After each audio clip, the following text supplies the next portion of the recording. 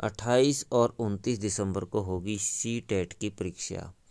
केंद्रीय माध्यमिक शिक्षा बोर्ड सीबीएसई ने केंद्रीय शिक्षक पात्रता परीक्षा सी टेट की तिथियाँ जारी कर दी है।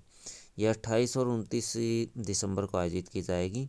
इन दोनों दिनों की परीक्षा के लिए बोर्ड ने प्रवेश पत्र जारी कर दिए हैं।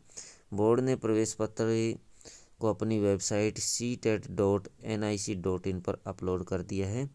सी बी एस ई ने स्पष्ट किया है कि सी टेट परीक्षा अब की बार शेड्यूल जल्द ही जारी कर दिया जाएगा।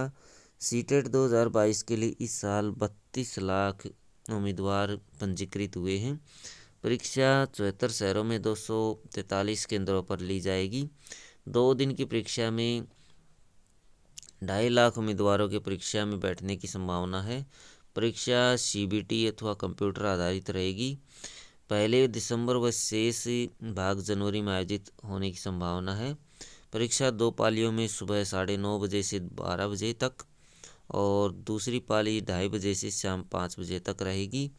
अब सी टेट स्कोर की वैधता आजीवन है। इससे पहले तक स्कोर सात साल तक ही वैध रहता था।